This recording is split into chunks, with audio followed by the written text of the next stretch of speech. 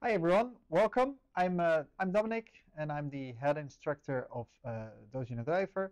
Uh, I teach Haedong Kumdo, Korean archery and Nunchakudo and welcome to this new uh, vlog or explanation in this case. And today we are going to talk about what is Haedong Kumdo uh, and some extra additional information about difference in my opinion between martial arts and a sports. So I hope you enjoyed this uh, video and more of these vlogs will come. It's been a while, but more will come.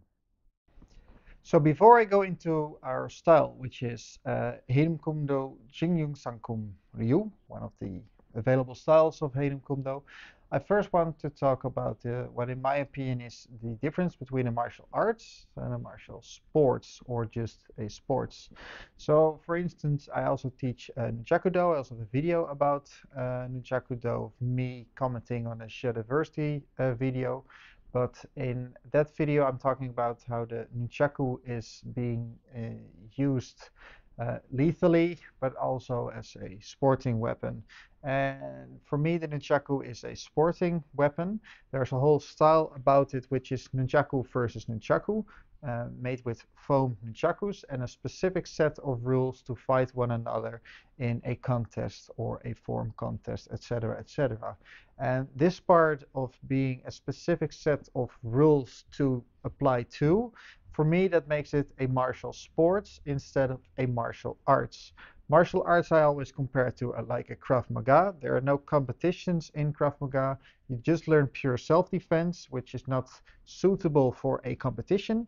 So this is why I think that is a martial art, because you cannot use it in a sports form, in a pure form. It's just for self-defense and how to defend yourself. So a specific set of rules to fight one and another versus I'm able to defend myself in a very martial arts way. Those are two differences which I think um, uh, could define a style of martial arts because most of the fighting sports, weapon sports, etc., are just in the section martial arts. But in my opinion, there are two different sections in that. So now what we know what a martial sports are or a martial arts are, at least in my opinion, um, now we're going to talk about the style that I give, and that is Haedong Kumdo Jingyung. So the question above in the title of the video is, what is Haedong Kumdo?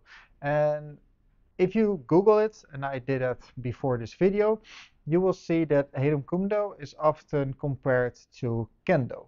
So Haedong Kumdo is a Korean martial arts and Kendo is of course a Japanese martial arts. Why is it compared to Kendo? I think because that's one of the most known uh, sword martial arts that is out there. So Kendo is when you're fighting one opponent in your uh, let's say big blue suit with the head uh, protective gear, with the chest protective gear, etc., etc. A lot of key-ups uh, in their battle cries and uh, fighting single opponent who is also a practitioner of kendo most of the time. So before um, I started uh, making this video, I did some research on uh, kendo as well. And what I found out that in uh, one of the periods of Japan, there was a lot of peace and firearms were starting to get into play. And samurai needed to still be able to use the sword, not for demonstration purposes only, but they need to be practicing with the sword. Since it was a peaceful time, um, that means that they uh, needed to practice versus one another, since there's not actual combat anymore. So then that's when uh, Kendo got developed, a way to keep practicing with the sword safely versus someone else with a sword. And then the Civil War period came and apparently the police uh, force who also were trained in Kendo um, were also uh, quite good at it and so they um, performed very well during the Civil War uh, period, and that's how Kendo stuck because it worked really well at a certain period. But in the essence, Kendo was made to be a sport. Uh, so just to save practice, uh, one martial artist versus another martial artist with the sword. So um, before Kendo, you had Kenjutsu, and Jutsu, as I um, as I know it, is translated to skill, and do is translated to the way. So judo, karate do, Kendo is the way of, and Jutsu means more skill or defense or etc. etc. So Kendo was the more combative way of it, which was uh, practiced before that. So that's of how to take over an enemy, counter, etc., etc. So not really the play thing uh, that Kendo is. Not that it's it's a play thing, but you get what I mean. Um, but that way they were practicing more offensive and defensive, not really suitable for a one-on-one contest. So Kendo versus Kenjutsu uh, translates, in my opinion, to the martial arts versus the martial sports. So this is the rough um, sketch that I'm giving about the sports. If I'm wrong, uh, this is what I found out on the internet. Now we're going to uh, Haedong Kumdo. So why starting this video about what is Haedong Kumdo um, with a story about Kendo? Well, that's because if you look up what is Haedong Kumdo on the internet and on YouTube, etc., etc., um, there's a lot of hate versus Haedong Kumdo because it's less uh, less good or below uh, Kendo. A lot of people think. Well, the mentality of the sports or the martial arts is uh, completely different. So that's why we started with that because um, what you see of Haedong Kumdo online is just a small section, uh, and there's a lot of things about Kendo, of course. There's a lot of practitioners of Kendo, so I guess that's uh, why if you if you Google it, a lot of comparison is between the two. Um, but if you go to look into the essence, Haedong Kumdo is not a sword sport; it's a sword martial arts. So um, I'm practicing the style of Haedong Kumdo Jingyung Sankum Ryu. Um, you have other Haedong Kumdo styles as well. You have Haidong Gumdo, which is spelled a little bit differently. You have Bongkuk and just Kumdo, and there's probably a lot of different styles in Korea uh, about this sword martial arts. But the two biggest ones, as far as I know, are the style I'm doing and the style of the Haidong Gumdo. And one is spelled with the I and G, the other one is spelled with an A and a K. So those are two different styles, just as in karate where you have different styles. So one of the things that you read online is that Haedong Kumdo is just a fleshy martial arts without any purpose as uh, apart from being a very good martial arts for demonstration. Um, because there's a lot of spinning and jumping, etc., etc. Um, well, let me tell you what is the purpose behind those spinning and jumpy things. Um, so um, during the talk that I'm doing, you probably see some videos uh, or some photos that I posted just for reference. But uh, now I'll give you some of the references of the more flashy uh, moves which are out there. But the idea of the moves is this. So uh, a kendo, for instance, is based on one versus one combat, while Haedong Kumdo is based on um, combat on a battlefield. So there are multiple opponents on the battlefield. It's not just you and someone else. It's not a duel. It's chaos out there, and there are multiple people attacking one and another. So Haedong Kumdo is very much based on moving around between different targets instead of fixing on one target. How do you do that? By moving a lot around and not being stationary and being overwhelmed. So the style that I represent uh, in my green dobok that is, is Haedong the Jingyung Sankum Ryu, and that's a martial arts based uh, on a dual sword system. So we practice single sword, of course, but most of our style is defined by being able to use two swords. Uh, mainly one sword for blocking, the other one for attacking. So what you're going to get is that a lot of moves are broad moves. So one block, and one counter. Assuming you've won, you block another one, and you block and counter. Assuming you won, you go to a different opponent. It's a lot of jumping around with one blocking and one countering motion. Because this is what you see online, of course, and that is the forms. The forms are the most easy to record and demonstrate on camera. And just like in karate, where it's called kata, we have Sangsu Kumbup, single sword forms, and Sangkum Kumbup, double sword forms. So um, if you know the single sword form, um, you have a rough idea of the footwork and the sword motions for the double sword forms. They're uh, roughly the same as much as they can be the same with being one sword and two swords. Um, but if you know the basics of the single sword form, you have definitely have a good base for the double sword form. Just to explain what those uh, things are. So these double sword forms or single sword forms all represent that you're fighting off multiple opponents on the battlefield. Let's just call it always the battlefield. And just like in other martial arts, these forms are just made um, so that your muscle memory will remember to block, to counter, and to do certain footwork. Um, so they are not always representable for the perfect scenario. So the first form is a very easy one where you just start with three cuts straight down. That does not show that you're cutting through everyone seamlessly on the battlefield, but that's just the first form. And like form number 12 has some very big spins in there, but those are also just to train. Uh, you're able to skill and jump with the sword and everything combined.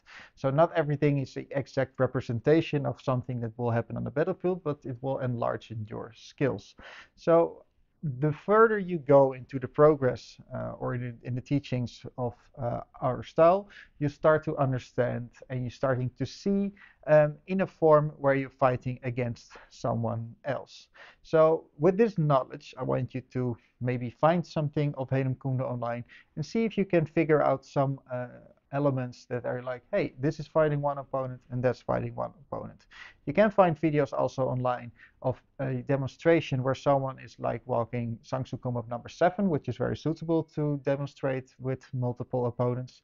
Um, but you see people performing that as part of a demonstration and also fighting off multiple opponents in the ideal situation of the form, uh, of course. But there is more to it, of course. So I immediately started with uh, double sort uh, things. So that's because it represents my style, of course. But I want to uh, tell you um, what it is that you learn when you enter my school and want to learn Haedong Kumdo. Think that's why you are watching this video. So in the beginning, what you are learning, of course, is the basics. We have a special set of moves for that called the Basic 12, and it covers almost all of the standard cutting strikes or sword strikes uh, together with a set of uh, different stances. Um, after that, um, you're starting to learn how to draw and how to sheath your sword in the simplest way, but also in the more cool looking uh, fancy ways, just so your overall sword skill will get better, like spinning between your hands and your fingers, etc. But that really helps uh, to have control over the sword and have a better understanding of the weight distribution of the sword and growing, comforting uh, with yourself with the sword, of course. And after that, you'll start to learn more forms, more advanced techniques, etc., etc. So once you've learned these basic uh, techniques and more more uh, forms, etc., etc., you're also going to start with sparring. Uh, this is called QCOMs, and those are sparring patterns. The thing about their sparring patterns is that they're not made for one-on-one -on -one combat. They are designed of one-on two combat because you block one opponent, you attack the other opponent, and then you go back to the first one that you attacked. So um, if your saboom or instructor explains this, then you can see, hey, I'm fighting multiple opponents and that way to redirect your techniques, etc., etc. And the further you come into Haedong Kumdo, the more you see that, hey, this is not based on just I'm fighting one opponent. This is based on I'm fighting multiple opponents. And this is where um, I think Haedong Kumdo is more of a martial arts than of a martial sports. Um, because um, we do train a lot of the forms and stuff. Sometimes we do train uh, fighting multiple opponents, of course, but um, in the essence, it's not like that we train battlefield situations in class. It's not like we put one of the person of one of the students in front versus the other 10 and see if he or she will survive the contest or the fight. So this is also not really suitable for a contest, of course, because what are you going to do? Uh, okay, he defeated two opponents. He uh, is the last place of today. And hey, she defeated 10 opponents. She's the winner of today. So it's not really practical, of course, because there's a lot of different skills uh, in that. So um, if you're going to look up a fight of an Haedong Kumdo versus Haedong Kumdo practitioner, you'll see that they try their spinning moves uh, and everything, Well, those are really not that suited for single combat. Single combat, uh, one versus one, then Kendo, of course, is a really good uh, contester because this sole purpose is fighting off, fencing off a single opponent, just like uh, fencing is, of course. So if you look at it from this perspective, you might have a little bit of a better understanding of the, um, the idea behind the motions. Um, I invite you to practice uh, or try some of the forms yourself, of course. I have some tutorial videos also on my channel, but I hope now you have a rough idea of Haedong Kumdo. So to start concluding this uh, video, um, let's just summarize what I just have said. So what is Haedong Kumdo? Haedong Kumdo is a martial art based on fighting of multiple opponents on the battlefield. What you learn in class when you start is just basics, basic strikes and basic stances, how to draw, how to sheath your sword, the very practical ones, but also the more flashy ones to gain confidence about you and your sword. You'll start learning forms, basic forms going into advanced forms, um, which in the back of your mind, the idea should be to fence off multiple people on the battlefield. Um, do we also spar? Yes, we have sparring patterns between one uh, or multiple uh, opponents. And we also, of course, spar to being able to actually uh, defend yourself versus another sword. Is that the main purpose of our style? No. Will we lose who uh, against someone who is practicing only kendo?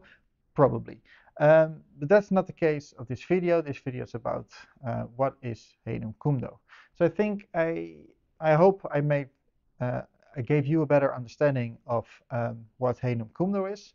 If you are interested, uh, you can of course join one of my trainings in the Netherlands, in Amsterdam or in Hilversum. Um, apart from all the things I just said, one of the other things that we train is meditation, because what you want is to have uh, rest in yourself, your inner spirit, your ki, um, and you want to have your energy to being translated into the sword uh, because the sword is just an extension of yourself. Um, to test your sword skills, what we also do is uh, cutting paper and cutting actual bamboo.